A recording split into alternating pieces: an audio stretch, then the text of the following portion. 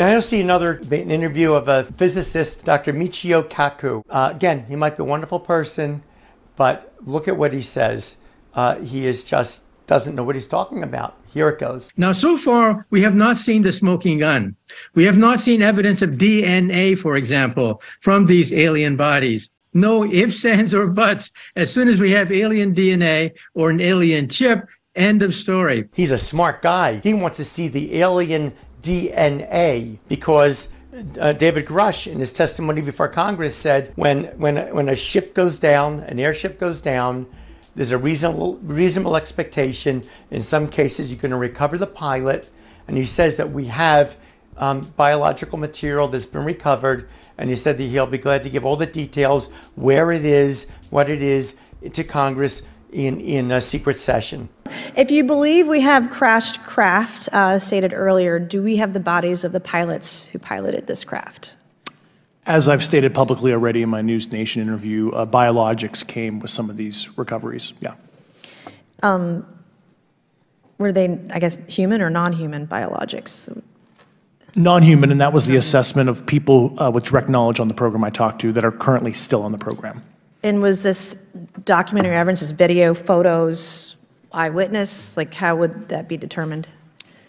The specific documentation I would have to talk to you in a SCIF about. Gotcha. Now, now Dr. This Dr. Kaku says he wants to see the DNA.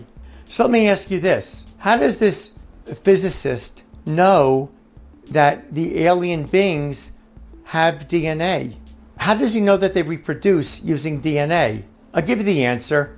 He doesn't know. This is another example of where, where people don't realize, but it's very difficult to think beyond what your experience has been we now know all living beings are made of cells, right? Well, cells were in living beings were discovered in the early 1800s. Before that, nobody knew that living beings were made of cells. Now we can only think of if it's an alien human alien being, it must be made of cells. We have no idea. Maybe it's not made of cells. What is it made of? What are they made of? I don't know. No, no, we've not studied them. Maybe the Pentagon has, but I don't know. But he can't assume that they're made of that they're made of cells. When he says he wants to see their DNA, and not only do we not know that they have DNA, uh, they maybe they have some other chemical, but all living beings in this world are based on carbon. If you look at pictures of there's four basic types of molecules that make up living beings. It's proteins, fats,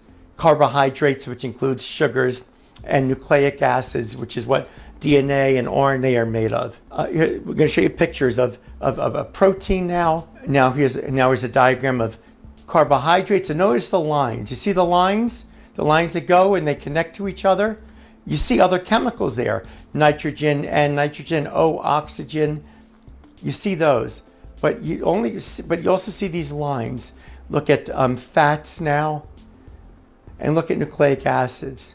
What are those lines? Those lines are carbon. In other words, where one line hits another line, that's a carbon right there. We don't bother to put in C for carbon because carbon is so is the basic backbone that all life on earth is made of. When this Dr. Kaku, the, the physicist, says he wants to see their DNA. Forget that he doesn't even know if they have DNA. He doesn't even know if they are carbon based beings. If you look at the periodic table, remember that from, I don't know, late elementary school of all the elements known to mankind? It's organized in columns based upon the number of electrons in the outer shell of each atom that can be used to bind to other atoms. In other words, you have atoms and the way they, then they, when they attach together, all them attach together, they make molecules. That's what all all living things are made of. Well, they attach together by sharing electrons. I'm using